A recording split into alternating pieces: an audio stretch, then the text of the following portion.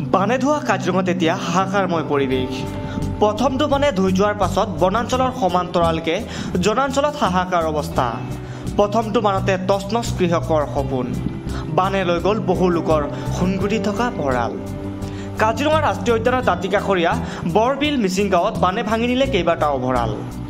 কৃষিয়ে একমাত্ৰ জীৱিকাস্বৰূপে লোৱা গাঁওখনৰ লোকসকলে ভঁৰালসমূহ ভাঙি পৰাত বৰ্তমান হাহাকাৰ অৱস্থাৰ সৃষ্টি হৈছে। হঠাৎ পানী বাঢ়ি অহাত কোনোমতে প্ৰাণ লৈ বান শিবিৰলৈ গ'ল যদিও নিব নোৱাৰিলে কোনো সামগ্ৰী। ফলত সকলো সামগ্ৰী নষ্ট হোৱাৰ লগতে ভঁৰালসমূহত থকা কুইণ্টল কুইণ্টল ধান এতিয়া মেলিছে গজালি। যাৰ ফলত বৰ্তমানেও আশ্ৰয় শিবিৰত থকা গাঁওখনৰ সাতশটা পৰিয়ালৰ জীৱনলৈ নামি আহিছে ঘোৰ অমানিশা।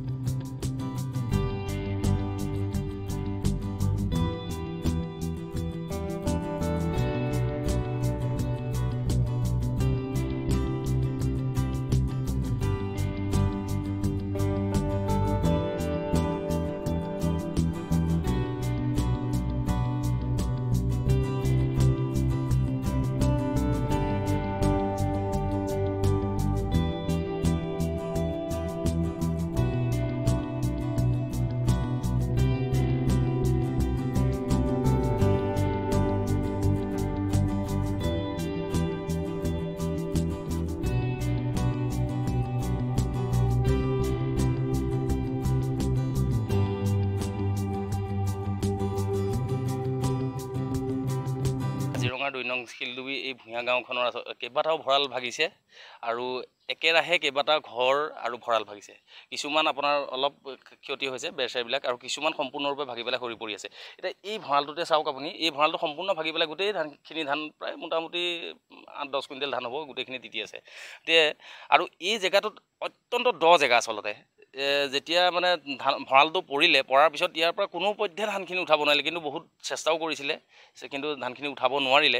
আৰু এতিয়াও তেখেতসকলে আহি পেলাই চাওক চবফালে চাৰিওফালে পানী হৈ আছে ধানখিনি মেলি দিব পৰাকৈ মানে একো ব্যৱস্থা নাই। আৰু যাৰ ফলত গোটেইখিনি গজালি আহি উঠি গ'ল।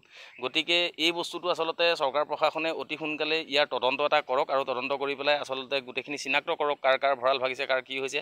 আৰু আমাক যিটো কথা কোৱা হৈছে যে জি পি এছত ফটো মাৰি দিবলৈ কোৱা হৈছে আমাৰ এই সাধাৰণ মানুহখিনি আচলতে সেইবিলাক কথা একো বুজি নাপায়। গতিকে বিভাগীয়ভাৱে বিভাগীয়ভাৱে তেখেতসকলে এটা টীম বনাই টীমটো পঠিওৱাৰ ব্যৱস্থা কৰক আৰু যিটো টীমে মানে গোটেই কাৰ কাৰ ঘৰ ভাগিছে কাৰ কাৰ ভঁৰাল ভাগিছে এই গোটেই বস্তুটো ছাৰ্ভে কৰিবলৈ তেতিয়া সুবিধা হ'ব।